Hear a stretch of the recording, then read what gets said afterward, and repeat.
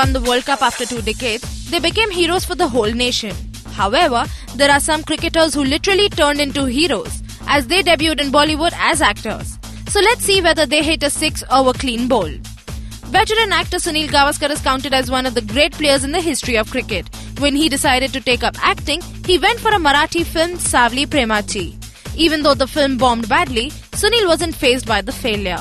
He then acted in a Bollywood movie Mala Mal with Nasiruddin Shah. But the film's fate at the box office made Sunil realize that he isn't fit for acting. Retired leg spinner Anil Kumble too tried his luck in Bollywood. He played it safe by debuting in a cricket-based film Mirabai Not Out with popular host Mandira Bedi. Unfortunately, Anil didn't get the same response for his film, which he gets when he bowls on field. Ajay Jadeja was always much known for his flamboyant nature and boy next door looks, rather than his cricket skills. So he decided to enter the glam world with Khel, also starring Sunil Shetty, Celina Jaitley, and Sunny Deol. This multi-starrer sank at the box office, so as Ajay's dream of becoming an actor.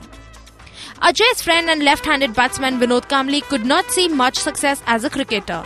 However, his sense of humor always brought him in the center stage. But he made a bad decision by signing a B-grade film Anarth along with Sunil Shetty and his Bollywood career never took off. Cricketer Salil Ankola is one stubborn man. Even after his movies with Sanjay Dutt Pita and Kurukshetra failed miserably, he didn't lose hopes. He was then seen with Zayed Khan in Chura Liya Hai Tumne. When this movie too couldn't get him desired success, he shifted his focus to small screen and did many television shows. Well, Salil only if you had this attitude while playing cricket.